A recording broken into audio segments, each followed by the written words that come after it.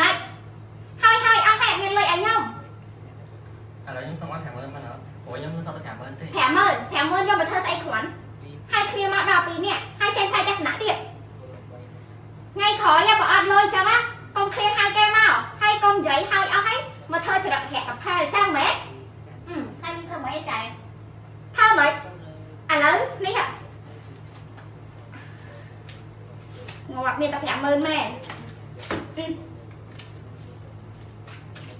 បងថតវាបងកុំអីថ្ងៃក្រោយចេះតែហៅស្រីបើបាត់ដេកទៀតអឺក្រក់និយាយទៅលើក្រោយយើងតើយើងលុយកក់មុនចាហ្នឹងឯងក៏ឲ្យចប់ហៅម្ដងសាទីនេះឲ្យអត់លុយឲ្យព្រោះហេតុអូនចឹងឥឡូវសាច់រឿងហ្នឹងវាបែបម៉េចអូនមានមិនបងដូចខ្ញុំចៃចឹងយើងចៃគ្នាឲ្យអស់ហើយមុនមកបាទអូខេតាមតម្លៃអស់ហើយហើយដល់ពេលមកមានតែ50000 ឲ្យខ្ញុំធ្វើមិនជីបតា pass M គ្រាន់ផងហើយគ្នាដល់2នាក់មកគិតមើលយកមកពីរនាក់2នាក់ឲ្យ50000ចាឥឡូវអឺណៃចង់ឲ្យបងធ្វើមិនដែរអត់ធ្វើមិនទេបងថតឲ្យផុសឲ្យផុសឲ្យផ្អើគេពេញហ្នឹងទៅឲ្យខ្មាស់គេតាមហ្នឹងចុះអូនមានអី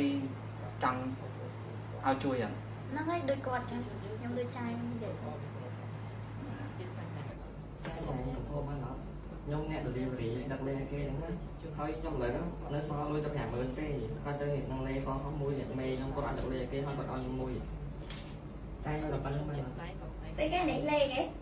លេសល់ហោះអត់ដឹងសល់លុយតែ50000គឺនេះលេនេះយើងប្រើតែអត់យកខាងដើរជឹងអត់ដែរ